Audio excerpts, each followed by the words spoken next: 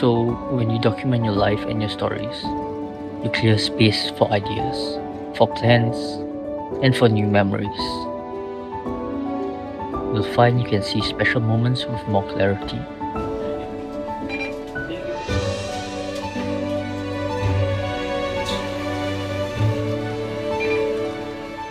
And it's this noticing that makes them special.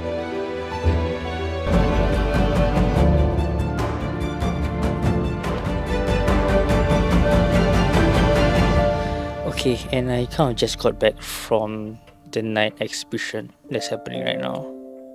We visited a couple of places, some ice skating thing.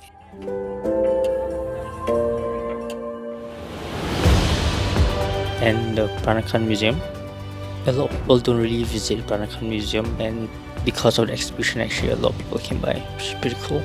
And yeah, I managed to get a couple of videos and photos as well. And the reason why I'm of whispering is because it's at night. And everyone is asleep. Yeah.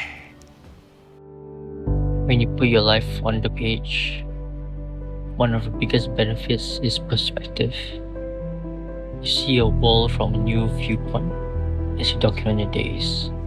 You can gain distance if that's what you need, and gain clarity. You can see how important a person was, how special a day was. This perspective can change everything.